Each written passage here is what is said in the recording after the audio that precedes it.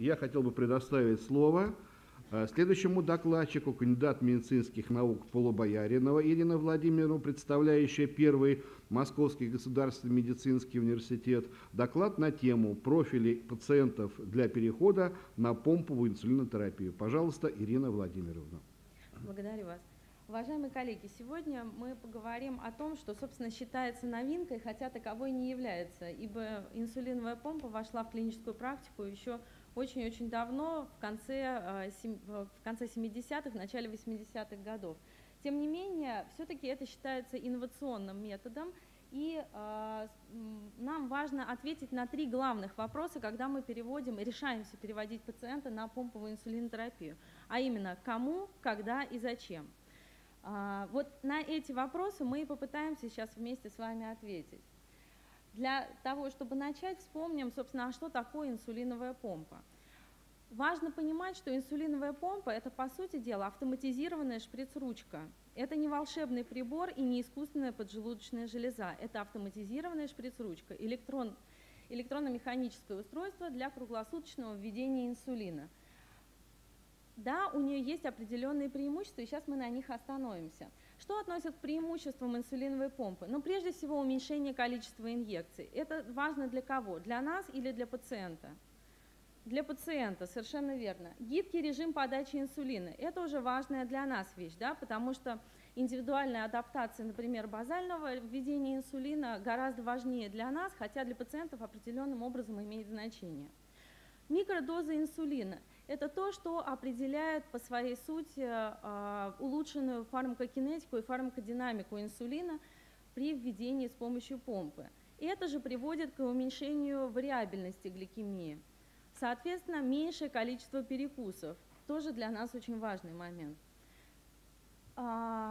Все это приводит вместе к совершенствованию навыков управления диабетом и выше удовлетворенность лечения, удовлетворенность лечением у наших пациентов – ну и по сути своей это жизнь в современном мире. Да? Это то, к чему, собственно, стремится диабетология, если мы берем информацию, которую сейчас наши зарубежные коллеги до нас пробуют донести. А, если говорить о недостатках, то самым важным психологическим недостатком будет необходимость постоянного ношения устройства на себе. А, чаще всего это сложно себе представить а, человеку, который этого не делает. А, тем не менее, для э, достаточно большого круга наших пациентов это становится проблемой. Отсутствие длительно действующего депо инсулина. А, является ли это недостатком? Но это скорее преимущество помпы и недостаток а, режима множественных, множественных инъекций. Почему? Потому как формирование депо под кожей изначально предполагает некую нестабильность и отсутствие воспроизводимости результатов при введении инсулина. Дальше следующие три недостатка, которые перечислены, связаны непосредственно с инфузионными системами. Инфузионные системы называют ахиллесовой пятой инсулиновых помп. Почему? Потому что основные проблемы, которые возникают с помпой, зачастую связаны с инфузионными наборами. А, кроме того, а, нам необходимо более грамотно обучать наших пациентов, потому что помпа требует усовершенствованных навыков. И необходимо обучаться самим, потому что владеть этим прибором, владеть его настройками, для этого нам нужно обладать необходимым уровнем знаний и умений. Ну и то, что для нас еще будет важно, это высокая стоимость. Давайте посмотрим пример. А, вот есть у нас пациент Максим, 33 года, 4 года стажа диабета. Он получает режим множественных инъекций. Уровень гликированного 6,7. Поздних осложнений нет. Будем мы его переводить на помповую инсулинотерапию.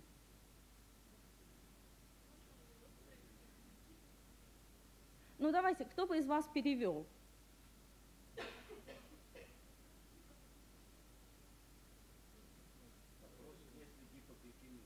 есть ли гипогликемия.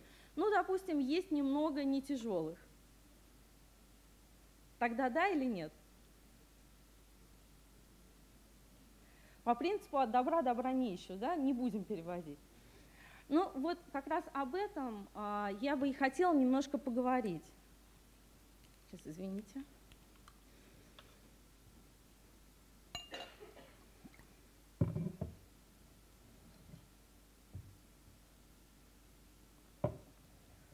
Давайте посмотрим. А, очень интересное исследование, которое было опубликовано в 2014 году, это исследование, а, сделанное на шведском национальном регистре. Надо сказать, что а, шведы учитывают практически все события, связанные с сахарным диабетом. Сам регистр, сам регистр насчитывает 33 тысячи, почти 30, 34 тысячи пациентов. И интересным дизайном было то, что на каждого пациента с сахарным диабетом первого типа брали 5 человек здоровых. И вот э, при том, что их наблюдали 8 лет, смотрите, какие результаты получились. Если брать группу пациентов, которых мы считаем изначально компенсированными, то есть с гликированным гемоглобином меньше 7, среди них смертность от любых причин была в два раза выше, как и смертность от сердечно-сосудистых событий по сравнению со здоровыми людьми. То есть, казалось бы, мы добиваемся того, чего мы добиваемся, да, то, к чему мы стремимся, но при этом э, люди по-прежнему умирают чаще, чем в среднем по популяции. Значит, что-то мы упускаем, да, и вот это исследование дало возможность задуматься о том, собственно, а что мы упускаем, да, в какой момент мы делаем что-то не так. А, на секунду отвлекусь на гликированный гемоглобин. Всем вам известна эта табличка, она представлена в национальных рекомендациях, да, как раз вот они, эти цифры, да, 6,5, 7, 7,5, 8. Если мы берем в пересчете на уровень глюкозы, это те значения, которые большинство из нас э, считает нормальными. Да? И когда мы их видим в дневнике у пациента, э, ну, вряд ли кто-то из нас скажет, что это плохо. Чаще всего мы просто посмотрим и скажем, ну, это очень хорошо, давайте продолжать в том же духе. Но тут нужно помнить, что гликированный гемоглобин является интегративным показателем, и он не отражает вариабельность глюкозы. И поэтому совершенно правильный был задан вопрос, а есть ли гипогликемия? Так вот, гликированный гемоглобин не дает представления о гипогликемиях. И поэтому достаточно часто можно увидеть графики, которые э, на самом деле совершенно разными являются. При одном и том же уровне гликированного гемоглобина – мы увидим разную вариабельность от слишком высокой к слишком низкой э, значением глюкозы до вполне себе стабильных. Ну вот пример, допустим, моей пациентки, гликированной 7,1, и при этом мы получаем вот такой график при мониторировании. Да? То есть э, сложно подумать о том, что, э, собственно, эта пациентка достаточно хорошо компенсирована, да? хотя гликированный 7,1 вполне соответствует ее целевым значениям. Если мы рассматриваем вариабельность как маркер сердечно-сосудистого риска, то этому посвящены и реанализ DCCT, и финское исследование, тоже, которое выполнено на достаточно большой группе пациентов. Таким образом, если мы говорим о современных перспективах, то мы переходим от дальних целей, да, от стремления к определенному уровню гликированного гемоглобина к анализу здесь и сейчас, а именно к анализу вариабельности. И когда мы анализируем вариабельность, то становится все более и более важным время в диапазоне, то есть то количество измерений, которые попадают в установленные нами же цели. По сути своей, именно это и является современной целью терапии, то есть попытка приблизиться а, к нормальной физиологии поджелудочной железы и перейти от намечания цели а, к тому, чтобы мы ее наконец-то уже достигали. Если мы обратимся к клиническим рекомендациям, которые существуют, то э, какие группы, э, какие преимущества выделяются в рекомендациях и какие являются показанием к переводу на инсулинотерапию с помощью помпы. Снижение количества инъекций. Посмотрите, эта картинка, вот эта фотография сделана была специально к дню а, диабета два года назад – чтобы вы имели представление, сколько инъекций выполняет пациент за месяц в среднем. Достаточно много. И 10 смен систем, которые выполняет пациент на инсулиновой помпе. Производит впечатление, согласитесь. И то, о чем я уже говорила. более низкие дозы инсулина и более физиологическое введение. Это относится к техническим преимуществам. Индивидуальная адаптация базального профиля. То есть то, опять, о, о чем уже сегодня я упоминала. Возможность подстроить а, график базального введения под конкретного пациента. То есть возможность убрать подачу инсулина в ранние ночные часы, увеличить в ранние утренние, снизить в течение дня, когда наибольшая физическая активность, и увеличить тогда, когда человек в основном сидит вечером. Среди клинических преимуществ, конечно, это более низкая вариабельность. Это уровень гликированного гемоглобина, который, интересно, что в исследованиях оказывается не таким уж, э, динамика оказывается не такой уж существенной. Если мы будем смотреть э, опубликованные исследования, то там в основном 0,7, 0,5 разница между помповой инсулинотерапией и режимом множественных инъекций. Но это связано с тем, что группа, с которой мы сравниваем, она а, тоже находится под тщательным наблюдением. И таким образом а, пациенты, которые а, наблюдаются как контрольная группа, тоже получают повышенную заботу.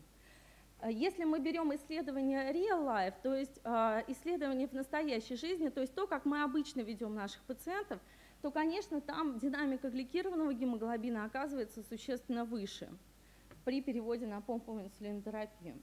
Уменьшается частота гипогликемии, тяжелых практически, на, смотрите, на 35%, на 37,5%. И снижается частота осложнений. Еще одно исследование, опять-таки выполненное на шведском регистре, когда сравнили 15 тысяч пациентов а, на множественных инъекциях а, с двумя с половиной тысячей пациентов на инсулиновых помпах – Смотрите, выживаемость у пациентов на инсулиновой помпе выше, да, то есть снижение общей смертности на 29%. Риск э, фатальных и нефатальных сердечно-сосудистых событий снижается на 43%. То есть люди чаще э, живут дольше при переводе на помповую инсулинотерапию. Таким образом, давайте еще раз ответим. Есть смысл переводить нашего Максима на помповую инсулинотерапию в свете вот этих вот знаний? Пусть живет дольше, да, и то, что у него гликированный 6,7, еще не должно его отвращать от того, чтобы дать ему возможность жить в современном мире. Но здесь есть несколько оговорок. Если он сам хочет, да, и если врач, который с ним встречается, готов к этому переходу. Но таких, как Максим, не так много да, среди наших пациентов. То есть такие пациенты, которые идеальные, которые приходят к нам и которые просят о том, что вот как бы давайте улучшим качество жизни. Если взять э, данные сообщества T1D Exchange, это большое американское сообщество, э, которое насчитывает э, более 20 тысяч пациентов с сахарным диабетом, в основном первого типа, то смотрите, не больше 30% пациентов в самой активной возрастной группе достигает целевого значения гликированного гемоглобина. Это значит, что 70% остаются декомпенсированными. Наши э, данные по стране в целом не сильно отличаются, то есть все равно больше половины пациентов наших не находятся в состоянии компенсации, не достигают целевых значений.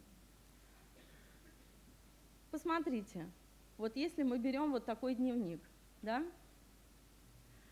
там есть разное, да, там есть и 2, там есть и 22, там есть и 26, и 15,7, и 6,9.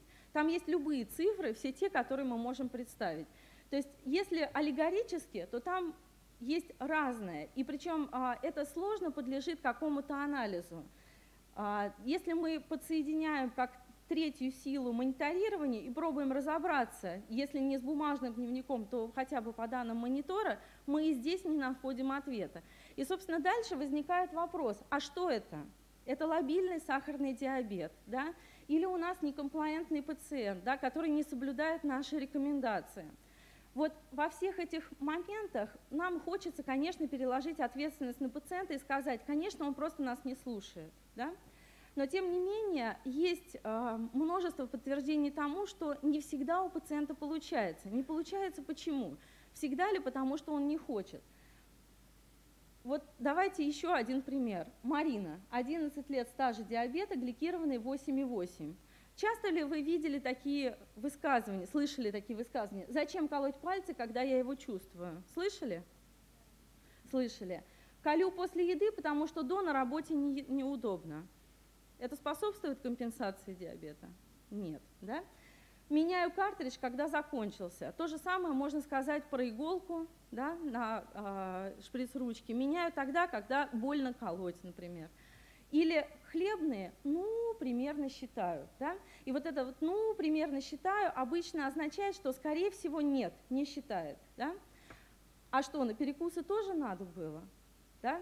И вот таких э, вопросов, которые задают нам пациенты, их, больш... их достаточно много. И в какой-то момент мы понимаем, что, в общем-то, все наши слова уходят в какую-то вот пустоту. Да? И при этом э, если разговаривать с психологами, спрашивать, собственно, а что лежит в основе такого отношения к собственному заболеванию. Психологи говорят, что это не специальная реакция, да, это вот не нарочно.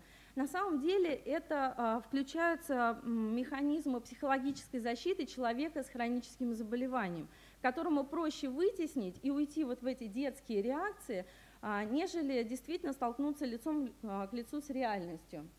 Так вот, представьте, если Марина ваша пациентка, да, в течение 7 лет вы ее наблюдаете, с какой вероятностью она через 3 месяца придет с идеальным гликированным гемоглобином, вдруг начав выполнять все рекомендации?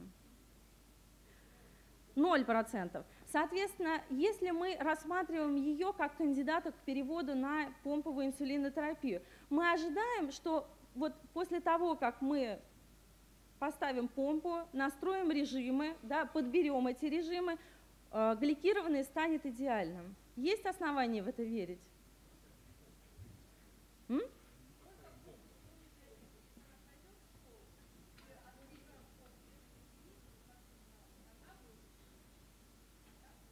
Хорошо. Ну, Итак, ну, наверное, как... в первом любом случае вопрос стоит о мотивации. Вот у того парня молодого и у нее. То есть здесь надо тоже это учитывать.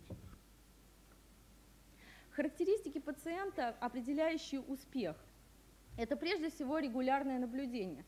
То есть если человек приходит к нам и говорит, что он последний раз был у эндокринолога в 1986 году, а потом все время дела мешали появиться, да, и вдруг сейчас он где-то прочитал о том, что помпа это очень здорово, да, то, наверное, это не самый лучший кандидат для перевода на а, помповую инсулинотерапию.